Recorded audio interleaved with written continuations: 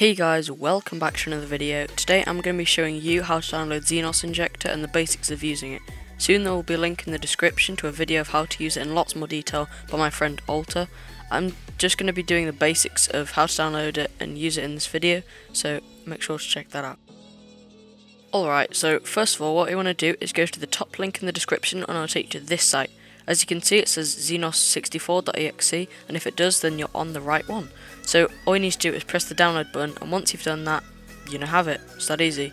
It should only take a few seconds to download as it's quite small but it's literally that easy. Alright, so I already have Xenos, so I'm just going to delete this one because I don't need two. But I'm just going to show you an example now of using it in GTA and how to inject something like a mod menu. It's really easy and simple. Alright, so once you're in GTA, all you want to do is go minimize out GTA, and then you want to get Xenos up, so you just double click it. Well, I have a lot of tabs up. Um, just double click it, and then it'll pop up like this. And then just get the DLL that you want to use. So I'm using the Slave 1.4. So you just get that and then drag it in like this. And then once you've done that select the process you want to inject it to. So I'm just going to inject it to GTA because that's what I'm on.